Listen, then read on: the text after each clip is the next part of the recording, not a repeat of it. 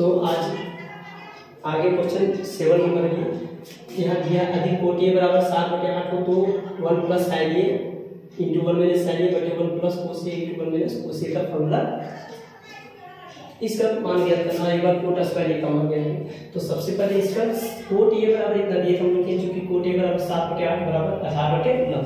आधार बटे नौ, यानी कि कोट ए का फॉर्मूला होता है तो आधार साथ ही ना दिया, नौ कितना दिया इतना तो इसका कर देंगे कर सबसे पहले हम निकाले कर आगे इसी बराबर लंब का स्क्वायर प्लस आधार का तो लंब का स्क्वायर करेंगे लंब कितना है? आठ आठ का स्क्वायर किए आधार कितना है? सात। तो इन दोनों को जब जोड़ दिए, स्क्वायर करके तो एक सौ तेरह आ गया। यानी करना क्या? करना कि तीनों पता चल गया लंब का धारा में। तो अब क्या करना है?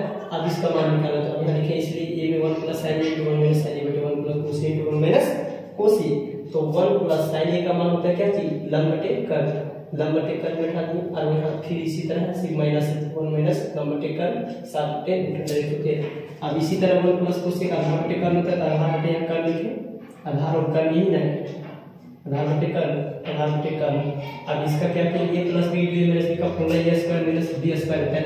ए के हम वन का स्क्वायर और इसका स्क्वायर के उनचास और इसका स्क्वायर के तो एक सौ तेरह। इसी तरह इसका भी कर दिए स्क्वायर माइनस बी स्क्वायर से। यहाँ गया अब इसको क्या किए दोनों का भिन्नता घटाओ। यहाँ नीचे वन थी यहाँ भी कुछ वन ही इसका यहाँ बनाए इसका आंसर निकाले। ये कितना हो गया?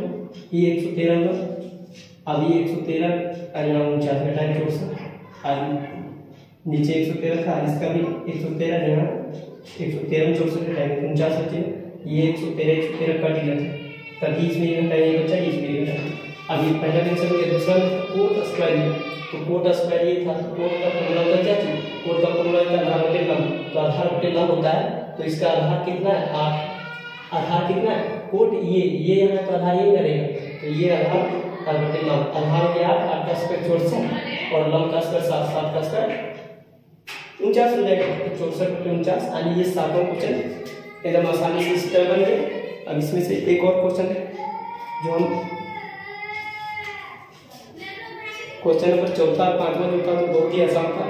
से कि जैसे थोड़ा सा हिंट दे देते चौथा चौथा क्वेश्चन कुछ नहीं करना था, बहुत ही आसान तरीका से समझा हूँ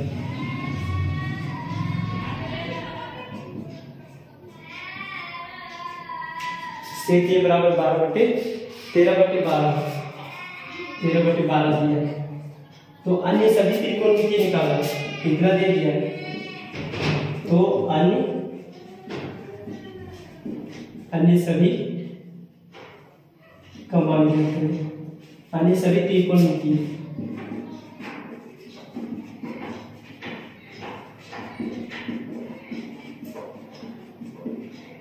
अन्य सभी अनुपात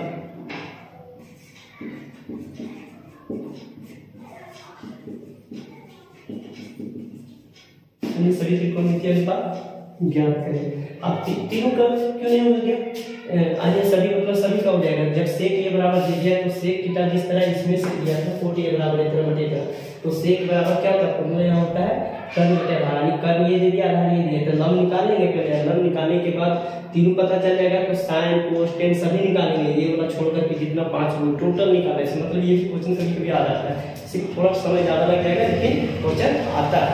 तो ये ध्यान रहे कि क्वेश्चन ध्यान में रखना है कि मतलब भूलना नहीं, बहुत ही आसान इसी टाइप का बनाना है क्वेश्चन देख के नहीं बताना है।